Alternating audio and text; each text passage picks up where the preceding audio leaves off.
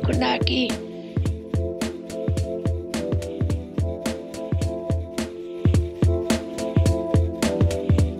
Welcome to Old Harbor. I'm Chef Melissa Berns. This is Traditional Foods Contemporary Chef Kodiak Edition.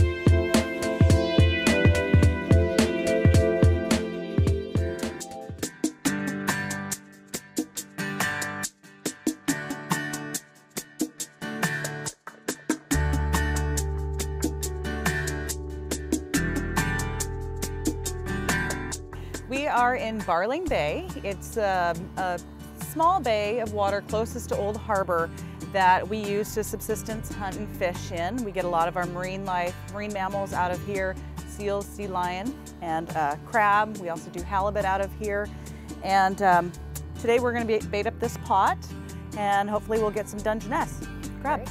Great. Show me what to do. Okay, um, I was lucky enough to get a king salmon carcass from one of my friends who's out fishing. So we're gonna use this for bait. And we should be sure to catch some crab with this. Just gonna take this, and if you'll help me, we'll just go ahead and launch this overboard. Ready? Very Okay. nice. Got it? Yep. It's coming. I see it. This pot is crazy. Whew. That's cool.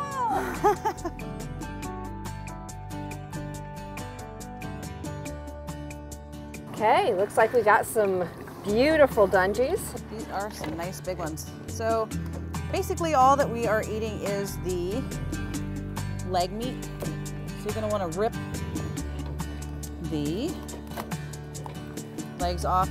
Um, they are, they will pinch you, so be very careful. If you hold on to the back of the shell, you can rip off one half of it just like that. And I'll get the other half off of here.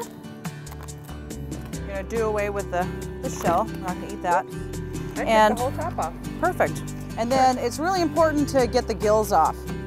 Just if anyone does go out and get, harvest their own, just make sure it's nice and clean. We had a great afternoon harvesting Dungeness crab out here in Old Harbor. And we've got Chef Melissa here who's going to show us how to cook them up. Okay. Um, well, we have some of the salt water that we brought back with us. Um, and what we're gonna do is we're gonna take the crab that we cleaned and we're gonna put them in the pot here. You can help me do that? Sure. We'll have to layer them in here because it's kind of a small pot, but I'm pretty sure we can squeeze them in. This is really a steaming process. And so once we get our water up to a boil, we're gonna time it for 17 minutes. Okay, so I heard that while we were out harvesting these Dungeness crab, your beautiful daughter Chloe and Chef Flora came up with a wonderful Kalina berry sauce recipe that she's going to share with us. We're right across the street from my house picking high bush cranberries.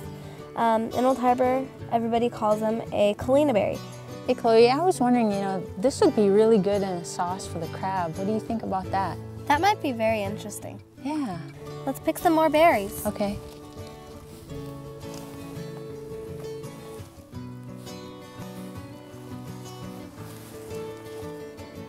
And there it is. Beautiful. Okay, I think that our 17 minutes is up, so I'm gonna go ahead and turn the burner off and we'll go ahead and pull this off. Great. This is the longest 17 minutes of my life. I can't Oh, wait know. to taste this. Look at that. And they look beautiful. They've got great color. Mm. We're gonna go ahead and transfer them over here to our dish. The smell is amazing. Wow. Okay, I think that it is nice and cooled off for us, so we can go ahead and enjoy some of our crab with this Kalina berry sauce. Great. Show me how to dig in. Okay, go ahead and tear off um, tear off a chunk of the leg meat. Here you go. That is good. Very good. And with the spice from that sauce, perfect combination. It is perfect.